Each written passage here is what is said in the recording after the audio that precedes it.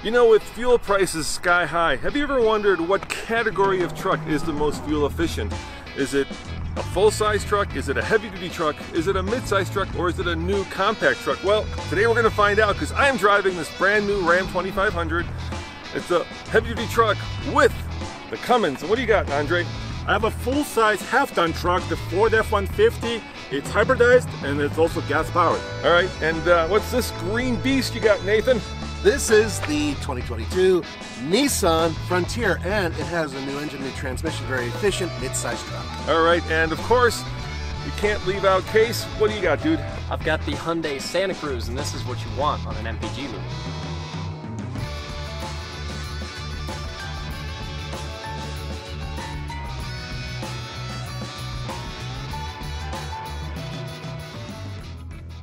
So the way this works is we fill it up, then we uh, wait for it to click, and then we give it 30 seconds to fill it up completely, and then we go and do the uh, drive route, and then come back and do it all over again. The downside, of course, to having a diesel is it's about a dollar more expensive. And click number two.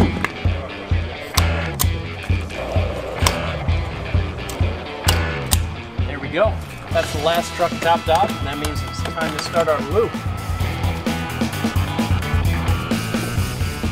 Easier way to do this, of course, would be just to check the truck sticker or go to fueleconomy.gov where you can compare all four trucks to each other. But you know what? We pride ourselves on real world testing because let's face it, a lot of those numbers the government gives you are based on numbers that the manufacturer gives them, which is based on a formula and not driving in the real world. You might be wondering about the rear axle ratios or the front axle ratios in the case of the Santa Cruz. Well, here are the numbers and take it for what it's worth. Uh, Santa Cruz 485 to 1. The Frontier 369 to 1. The Ford F-150 373 to 1. And of course the Ram 373 to 1 as well. But does it matter? Yeah, it matters. Which one is more fuel efficient, Andrew? The lower to one or the higher to one? The lower number is usually better for efficiency. The higher numbers are better for pulling power. So which has the best axle ratio for fuel efficiency? I think Nathan. Tonneau cover. Yeah, that's right. No tonneau cover. Not only that, but a bunch of Nissan accessories. Bad for aerodynamics and weight. Oh, but Andre has a tonneau cover. Guess what? So does Roman on this truck. I feel like I'm being sabotaged already. Fortunately, I do have the best axle ratio. Hey guys, so here we are going on the highway, uh, and uh, let's have a little chat, huh? I'm gonna give you some numbers just to scare you a little bit. So, get this.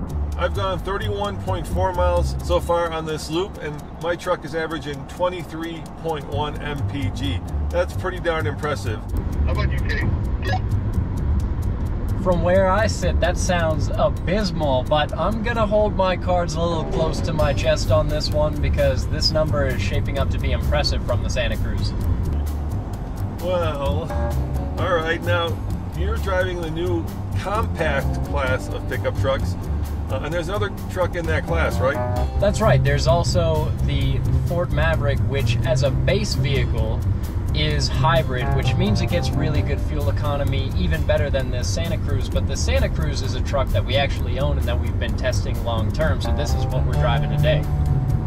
Now, Case, you normally drive a Cummins, so what do you feel about being in the smallest of the trucks?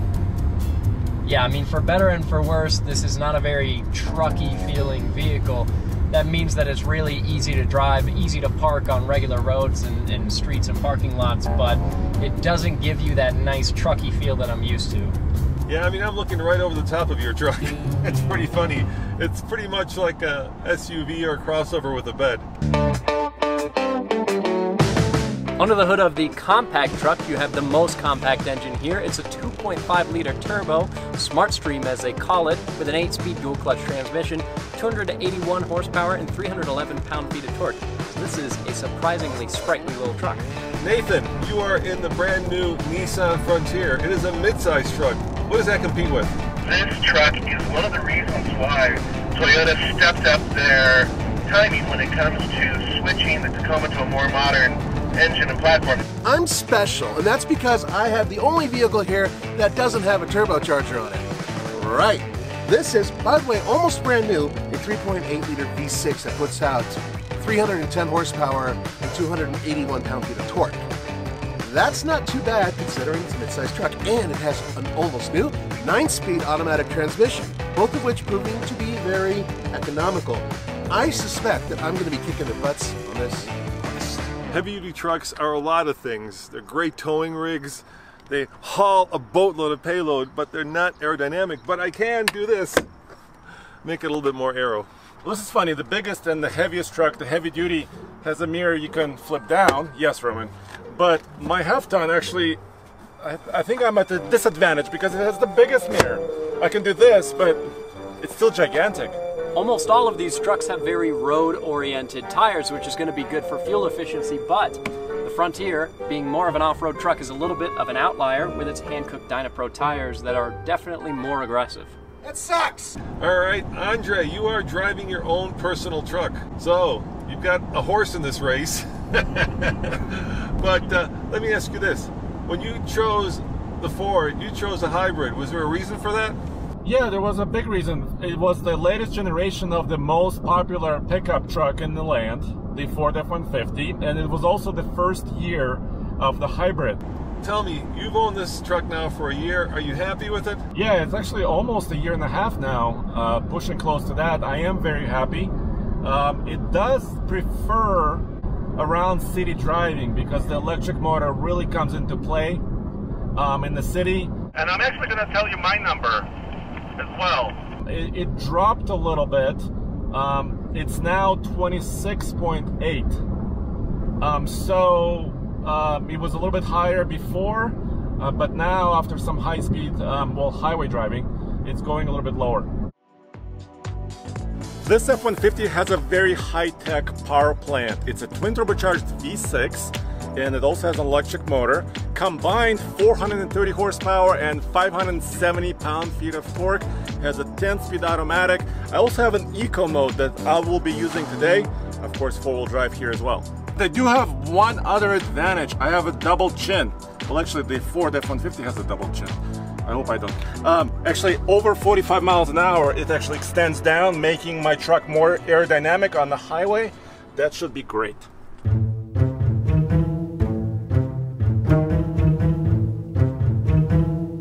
This heavy duty Cummins is one of only three heavy duty trucks out there. So there's, of course, the Chevy uh, and the Ford Power Stroke, uh, and they're, you know, going head to head. And these rigs are, I think, really good for two things payload and towing. Would you agree, guys? Yeah, absolutely. I mean, a heavy duty truck, I mean, that's when you get the really big payload numbers over 2,000 pounds and above. That's where you get really high tow ratings. Know, some of the dually trucks get, you know, over 30,000 pounds of towing. So uh, you're in a truly working truck. One never thinks of heavy duty trucks as fuel efficient, but you know what? This engine is just kind of loping along at barely 2,000 RPM. Actually, I'm only at 1,600 RPM, so I'm thinking I've got a good shot at this. Under the hood of the Ram is a 6.7 liter straight six Cummins. It puts out 370 horsepower and 850 pound-foot of torque. It's paired to a six-speed automatic transmission. It's four-wheel drive, just like the other three trucks, but best of all, this Cummins just chugs along on the highway, low RPM, hopefully giving me great diesel economy.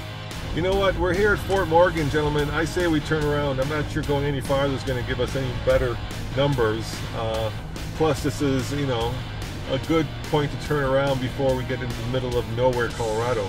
Agreed, uh, agreed. How about we uh, get a little bit of water break? Head on back and find out exactly which of these trucks is the most fuel efficient. I think I know which one it is. Okay, just because you got the smallest truck, you don't have to have the biggest ego. You know what they say about guys with uh, small trucks? I don't know what they uh, say about guys with small trucks, but I do know what they say about guys with big trucks. Oop, I walked into that one.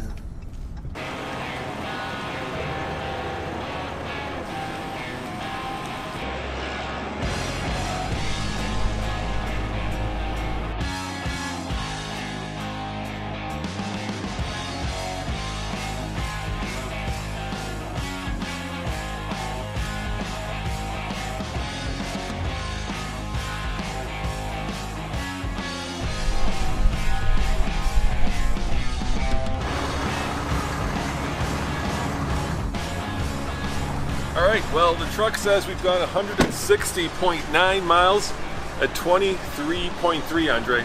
That's what you got? That's what the truck says. But what did the pump say? I don't know, I gotta fill it up. Okay. It's gonna say something different, I bet. So 23.3, 160.9 Okay. miles. Got it. My truck agrees on the mileage. Right, well, let's fill it up. Yes. We're paying $5.35 a gallon for diesel, which is expensive. I don't know why it's more than a dollar expensive than gasoline. Usually they track about the same. Sometimes diesel's even cheaper, but in this wacky world we live in,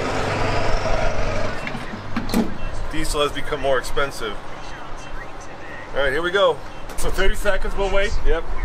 Double click. Right, and we're gonna do this in order, right? So we'll do the big truck first, then uh, your truck, then the medium truck, and then finally, uh, Small. Yeah. All right, here we go.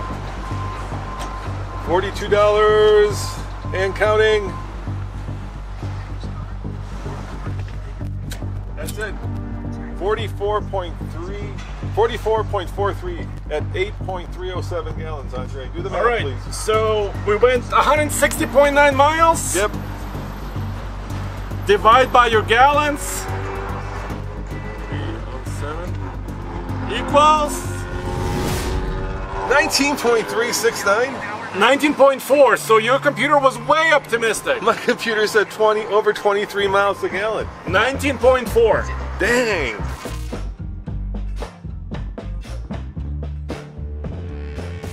Eighty-seven is four dollars and forty-nine cents a gallon. My my truck says twenty-six point one. Well, it's already much better. It's $27. Oh, it's cheaper.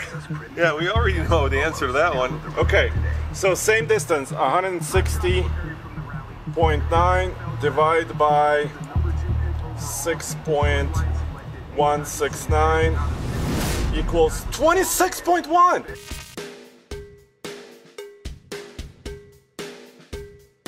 Dude, Nathan, the Ford is on the money. That's rare. Yeah, right on the money. Look at that. Well, we were wondering if it was a gas station or my truck. Apparently, it's my truck.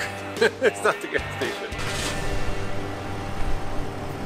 25.6 miles per gallon, but but my distance isn't the same as yours. Mine's almost two miles less. No idea. Should take a shortcut. That's what I was kind of wondering. Like, did I maybe I cut those turns a little finer than you Uh, guys? You were apexing better. Right, so I had more of a direct line. No doubt. Yeah. Okay. Okay, so same miles, 160.9 divided by 7.020 equals 22.9. But, but it said 25.6 inside. How can there be such a discrepancy? I've, I've been asking that same question. All right. You want to know what my computer said? Yeah, what did your computer say? I'll tell you. 31.6. Oh, oh, 30, Over 30. 31.6. Oh, look at that. That's already, it's already the lowest number. All right, do the math, Andre. Okay, for case, 160.9 miles, we're using the same distance. Divide by 5.197 equals 30 point, actually 31, because you're rounding up.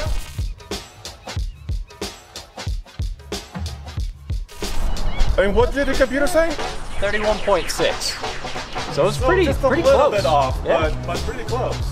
Yes, but Well, but he won. yeah, but can he haul ass and tow big? can haul ass. Can't tow big. can tow very medium to He can tow about 5,000 pounds, maybe if he's lucky. Yeah, how much can I tow, Andre? 20,000. Oh, ah, so that's right, yeah. I'm going to remain quiet on this one because I'm like in the middle. But I will say this. None of you guys have the extra little grab bar in the back. Ooh, a sport bar. I have a sports bar and you don't. That, that obviously constitutes loss, which is why I came in third. With fuel prices through the roof, uh, the answer is if you Get a hybrid. No, the answer is if you want a small truck, get yourself a new compact truck. If you want good fuel economy, you don't have to. Well, you can haul ass, but you can't tow big. See you guys next time. Ciao.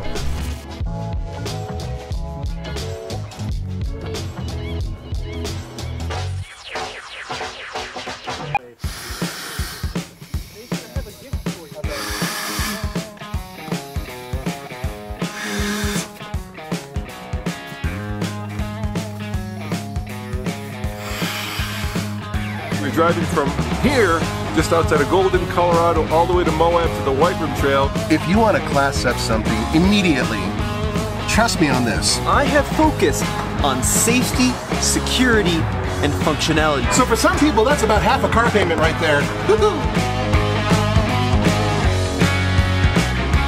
We're here on the White Rim Trail, and I think there is no more beautiful road in the entire world. Yeah, there are like three cars going off the road here. Wait, what? Nathan go slow? Hell no.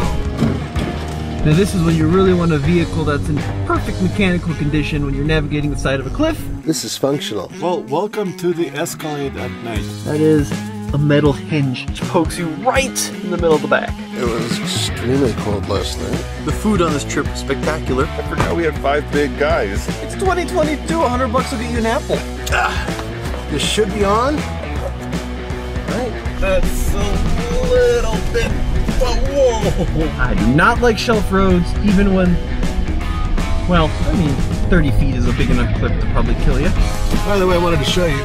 This is after waiting a moment or two or three or six. A lot of dust. Very hard to see through. All right, come on, straight on. I'm not gonna let you go off the cliff, don't